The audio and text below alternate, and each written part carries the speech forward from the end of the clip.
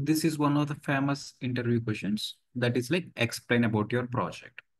So here we are trying to work on Pega project related to banking loans. So let us see how to explain that. Let's start. So we worked on banking loans project where the goal is to automate the loan approval process and making this application more efficient for both customers as well as the bank employees. So we developed very good user interface, which allowed users to apply the loans and checking for the eligibility of the customers and managing the repayments. And coming to the backend wise, we developed this to calculate the interest rates. And this is to perform eligibility checks by checking with third-party applications.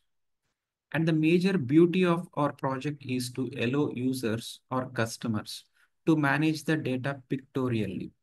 So by going with different type of data summarizations.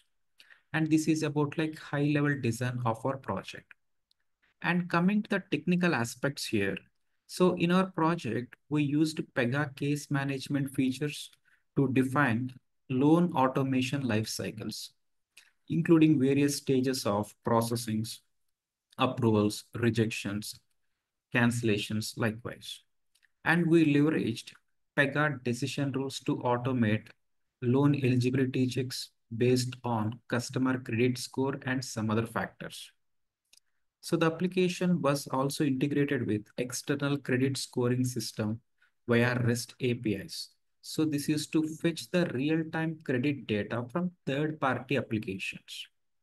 And for the user interface, we used Pega latest UI components to, to create an responsive front-end design. That's it.